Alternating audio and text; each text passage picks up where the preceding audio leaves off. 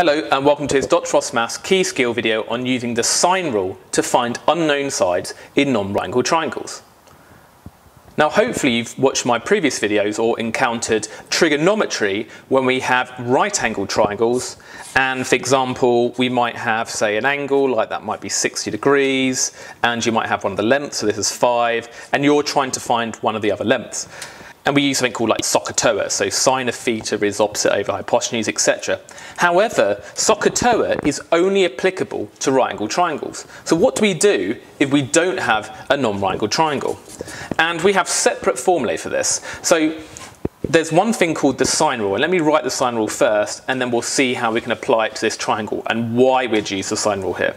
Now, just before I introduce the formula for this, I need to tell you how we label the sides of this triangle. Because we need for right angled triangles, we'd have like a hypotenuse, an opposite, and an adjacent.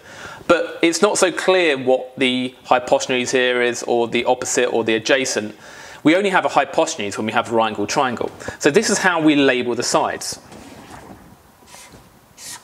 Let's say we label the three sides of the triangle A, B and C using lowercase letters, then each side's opposite angle would be the capital form of that letter. So opposite A would be the angle capital A, opposite B would be the angle capital B, and opposite the C would be capital C. And that's how we label a non-right angled triangle. Now, if you've got a non-right angled triangle, this is what the sine rule is, and I'll explain how to use it in a second. A over sine A is equal to B over sine of capital B. So this is the sine rule. And what that's basically saying is that if we take any side of this triangle and divide it by the sine of the opposite angle, we always get the same result for any three of these pairs.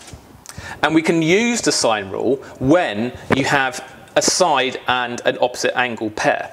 So in this particular triangle here, look, we've got a side and an opposite angle pair. We've got a side and an opposite angle pair. So if you have two side opposite angle pairs like we do here, that's when we can use the sine rule, either to find an